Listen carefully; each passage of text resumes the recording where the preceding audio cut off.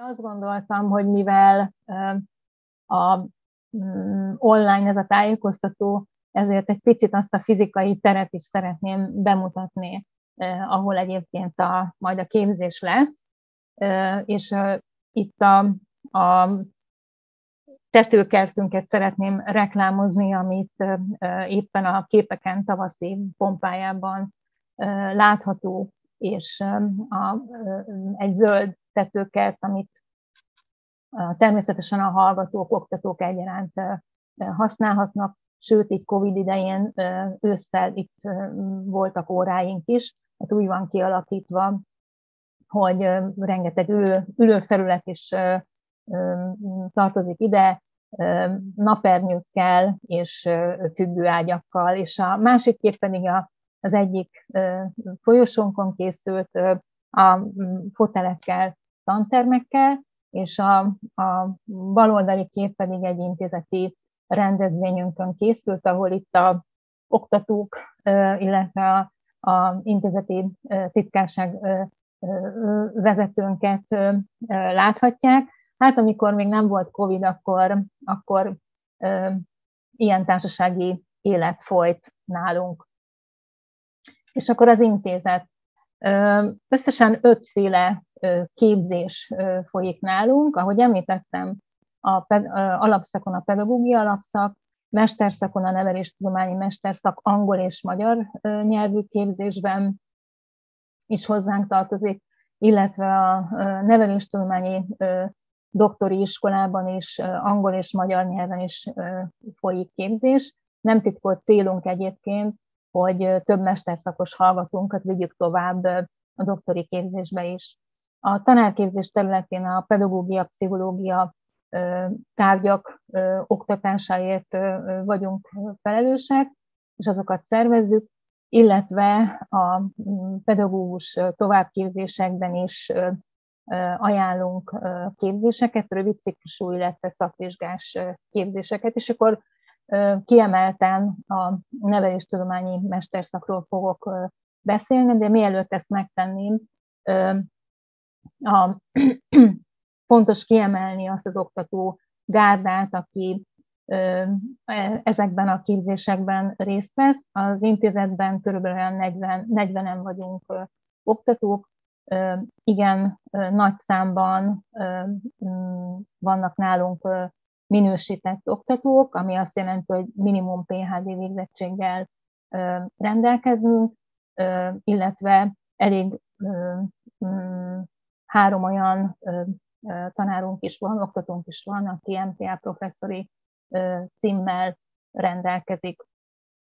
A, ezen a karon hagyományosan a legtöbb intézetben nem tanszékek, hanem kutatócsoportok vannak. Nálunk hét kutatócsoport van, akinek a, akiknek a munkájába a hallgatók is bekapcsolódhatnak többféle módon is, és hát lefedjük a, a neveléstudomány legfontosabb kutatási területeit, nevelés történet, a tanulás és tanítás, pedagógus kutatások, oktatási egyenlőtlenségek, nevelés szociológia, oktatási jog, illetve az Education of Psychology területén is kínálunk kutatásokat. Ha a hallgatói életet nézzük, akkor azt látjuk, hogy, hogy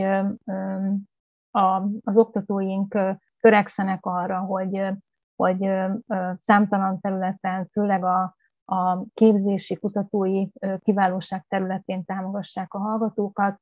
Tehetséggondozó műhelyünk van, a két évente megrendezendő OTDK-kon mindig hozunk el első, második, harmadik helyezett, vagy éppen különdíjas eredményeket is. A körünkben ülő Károlyi Bori éppen egyébként a tavalyi ilyen OTDK nyertes volt. Emellett egyébként a I és szakkollégium is fogad hallgatókat.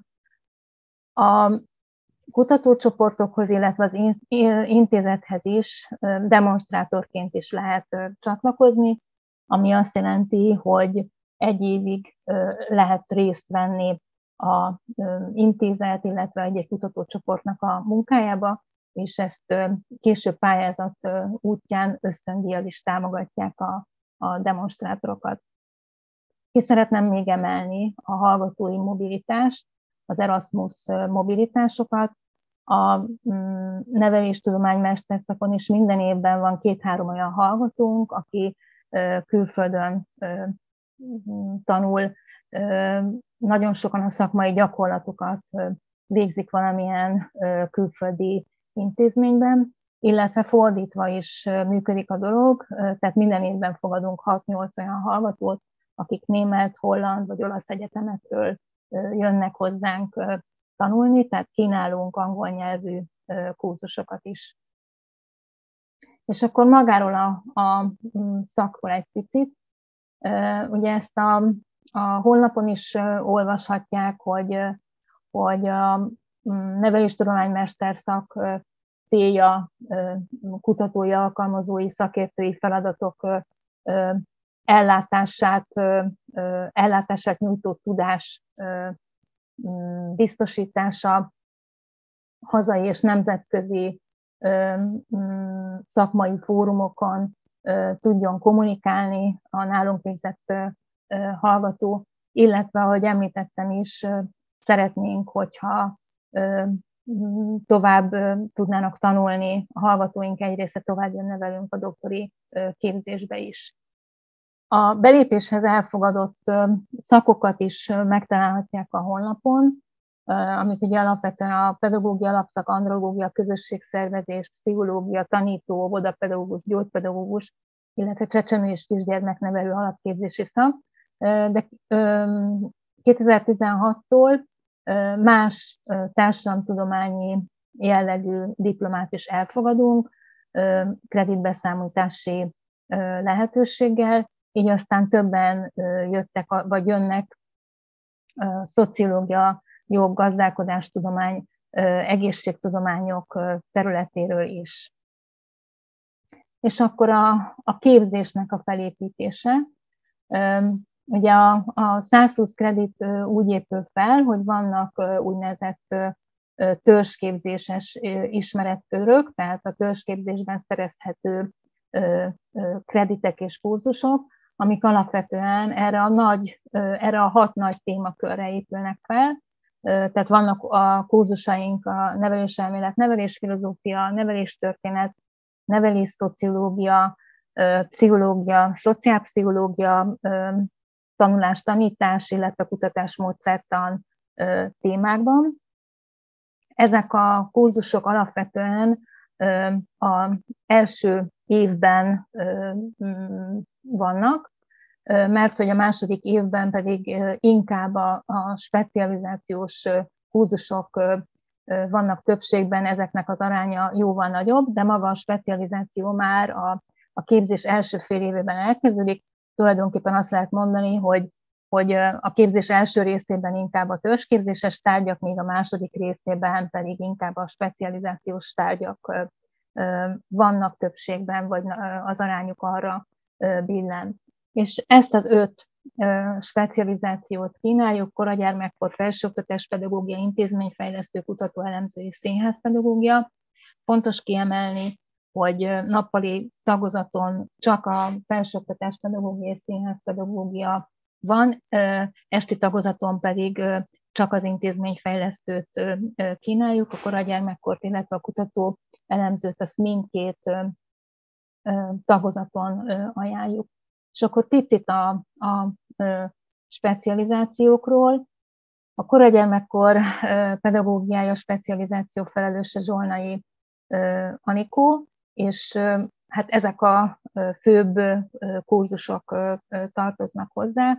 Fontos kiemelni, hogy itt a koragyermekkor az a nemzetközi szakirodalom szerint ez a 3-12 éves korú korosztály, tehát hogy egy picit följebb van a korhatár, mint a, a magyar szakmai irodalomban szokott ez lenni, és a, a zölddel kiemelt, vagy a sötétebb zölddel kiemelt kurzusok, azok az alapvetően ugye gyakorlat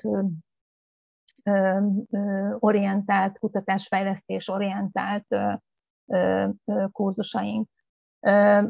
Azt is ki kell emelni, hogy ugye vannak nem csak ebben, hanem a többi specializációnál is választható témák, választható kurzusok, ahol egyébként azokat a kurzusokat szoktuk kiajánlani, amiket maguk a, tehát hogy a hallgatói igények alapján szoktuk ezeket a kurzusokat meghatározni, hogy éppen a következő fél évben mik legyenek, amiket meghirdetünk. A következő specializáció, ez a felsőoktatás pedagógia, aminek a felelőse Halász Gábor. Ezt sajnos két éve nem tudtuk már meghirdetni az alacsony létszám miatt. Ezt majd biztosan lesz ilyen kérdés is, mert ez mindig kérdés, hogy általában a jelentkezősi létszámoktól függ az, hogy egy specializáció el tud-e indulni, vagy sem. És ez a választás, ez augusztusban fog megtörténni, a felvételi kiértesítés után tudnak a, majd már a Neptun rendszerbe bejelentkezve specializációt választani és priorizálni, egyes vagy kettes, hármas prioritást beállítani, amit aztán a tanulmányi hivatal összegez, és az alapján nézzük meg azt, hogy egy specializációra hányan jelentkeztek, és általában olyan 12-15 fős létszámnál tudunk indítani egy specializációt. Arra is volt már így példa, pont éppen a felsőoktatás pedagógia esetében, hogy kivártak hallgatók, és a következő évben, amikor összejött akkor, akkor a létszám, indítottuk a felsőoktatás pedagógiát, de egyébként a, a színházi specializáció is hasonló módon indult el tavaly. Tehát a felsőoktatás pedagógia esetében ez egy nagyon változatos kurzuskínálattal rendelkező specializáció, inkább ilyen felsőoktatás menedzsmenttel foglalkozik, illetve felsőoktatási programfejlesztéssel foglalkozik. Az itt végzett hallgatók egyébként a, mm, nagyon sokféle területen helyezkedtek el. Van közöttük olyan, aki itt fölírtunk ilyen néhány helyet, hogy főleg az egyetemi szférában, de voltak olyanok is, akik ugye a versenyszférába helyezkedtek el, és nagyon, nagyon sokan a különböző ilyen Európai Uniós projektekben a menedzsmentet segítették elő. Aztán a kutatóellenző specializáció, ez viszonylag új, a, én vagyok a, a felelőse, hát rólam annyit kell tudni, hogy én 26 éven keresztül egy kutatóintézetben dolgoztam, mielőtt az eltére kerültem volna, és ezt a irányt szeretném erősíteni a képzésünkben.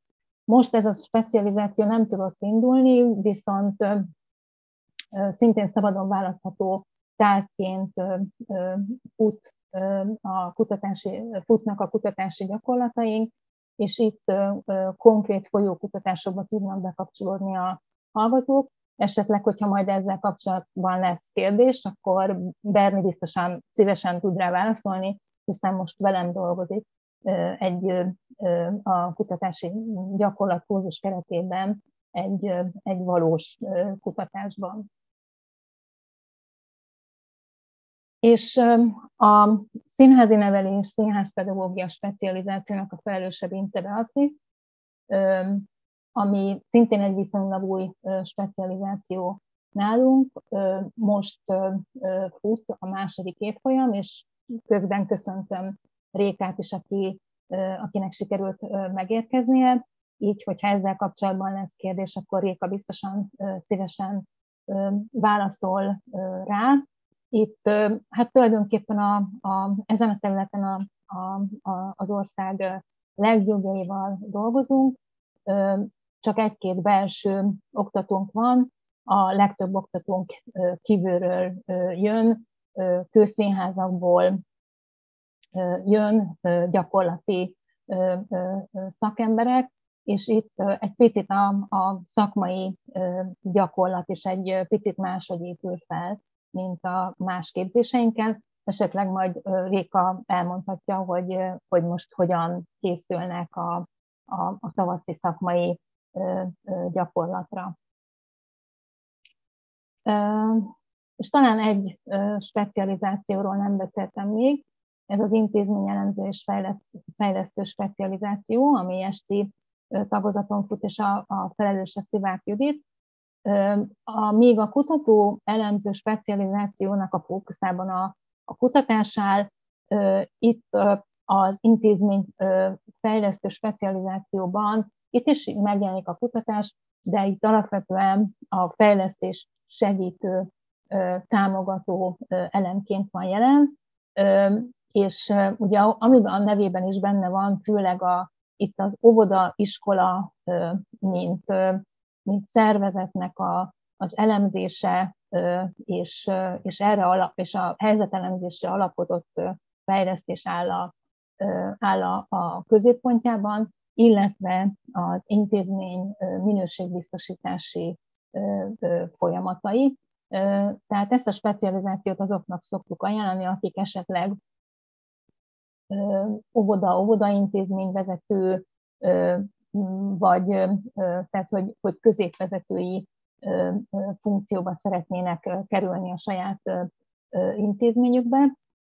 Itt is egyébként a szervezeti fókusz mellett ez a projektmenedzsmenti fókusz áll a középpontban.